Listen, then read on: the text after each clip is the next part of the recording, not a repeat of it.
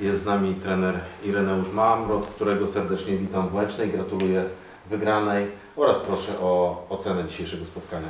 Dziękuję, dzień dobry. No zacznę nietypowo. Przede wszystkim chciałem podziękować tutaj ludziom klubie od marketingu po, po sztab mm, za, za, za bardzo takie fajne przyjęcie, bo, bo, bo ja z Górnikiem naprawdę się dostałem w dobrej atmosferze, natomiast Pan Józef trochę źle zainterpretował sytuację, kiedy wyjaśniałem moje, jak doszło do mojego zwolnienia, ale mam tu duży szacunek do, do, do ludzi w klubie, bo tu e, panuje fantastyczna rodzinna atmosfera i też, też trenerowi staram się podziękować, bo też przewodniczący Pan się zachował i bez jego strony, więc e, dziękuję. Co do meczu, pierwsze 20 minut myślę, że powiem uczciwie, wiadomo, że chcieliśmy gdzieś tam odciąć od piłek. Tutaj Adama daję, bo uważam, że to jest bardzo wartościowy zawodnik i tak go odcinaliśmy, że, że inni w środku mieli więcej miejsca, ale mieliśmy problem. Problem, zwłaszcza gdzieś Warchow między liniami się poruszał, gdzieś mieliśmy za dużo odległości może to nie były sytuacje stuprocentowe, na pewno nie, ale, ale było groźnie. Natomiast po tych 20 minutach trochę, nie trochę, dużo lepiej funkcjonowaliśmy, poprawiliśmy tą organizację gry i, i no i ta, te 20 minut było niezłe.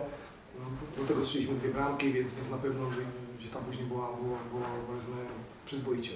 Na pewno też początek drugiej połowy, bo myślę, że taki przełomowy moment dla nas to, to, to była sytuacja sam na sam. To była ta 50, 52, czy nie pamiętam dokładnie.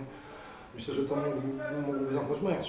A tak y, później y, bardzo dobry stały fragment gry górnika, bramka i, i wiadomo, w takich warunkach gdzieś zeszliśmy niżej. Mm, Może to nie były na pewno czyste sytuacje, ale wiadomo, w takich okolicznościach może być, można gdzieś tą bramkę stracić, więc, więc na koniec też było mniej gry, a dużo takiego charakteru, zaangażowania zespołu i za to chciałem bardzo podziękować. Trudny mecz, bardzo trudny mecz.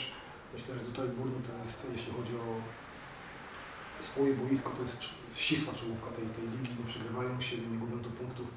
Sam jakby tego doświadczyłem jako trener, bo, bo, bo, bo tak się zdarzyło, że w tym sezonie, w którym odszedłem stąd, też, też tu nie przegraliśmy meczu, więc wiem jaki to jest trudny teren, więc tym większe słowa gratulacje dla mojej drużyny. Na koniec na pewno powoli wracają gdzieś kontuzjowani zawodnicy, chcemy, żeby ta rywalizacja była większa.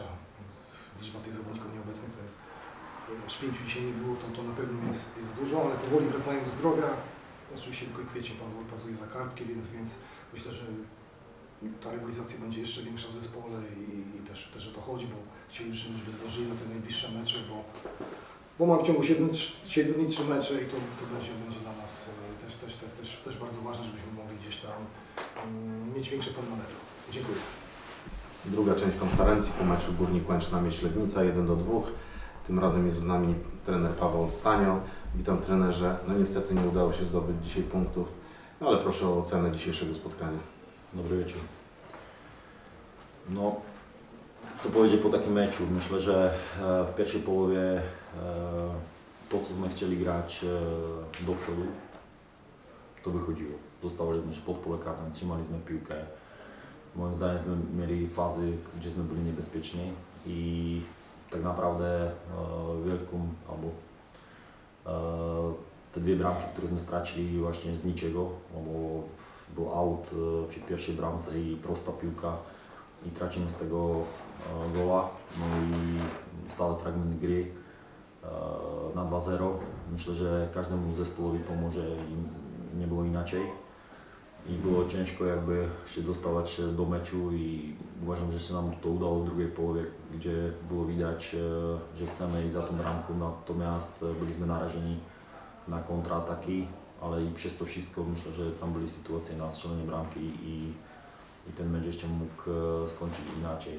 Natomiast nie udało się, musimy, musimy e, patrzeć do przodu, przygotować się na kolejne mecze i z tej strony tylko gratulować e, trzem punktom e, miedzi. Natomiast e, tak jak powiedziałem, mm, ja aż tak po tej stronie jakby piłkarskiej nie mam aż tyle do zarzucenia chłopakom, natomiast te sytuacje bramkowe i jeszcze niektóre kontrataki na pewno się dali lepiej zrobić, ale już jest po meczu, już możemy tylko wyciągać wnioski z tego meczu.